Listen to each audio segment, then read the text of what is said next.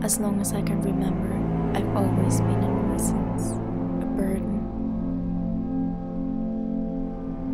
People believed me weak, defenseless because of my condition, always dependent on my brother. But now I am by myself, trapped in a world cursed by a vindictive woman hungry merciless beast that kills without conscience. A prince desperate to save his people.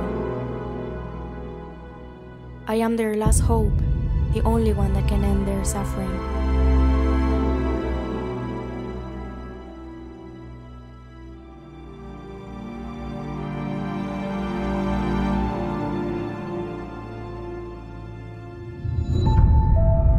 Need to go back home to help my brother, but they need me here too.